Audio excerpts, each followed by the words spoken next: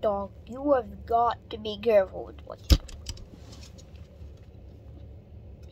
do. Shut your ass up. Dog, I was just trying to be nice. Yeah, and I'm trying to tell you, shut your ass up. Shut your ass up, boy. Oh, you want me to get my belt and whoop you? Because I can.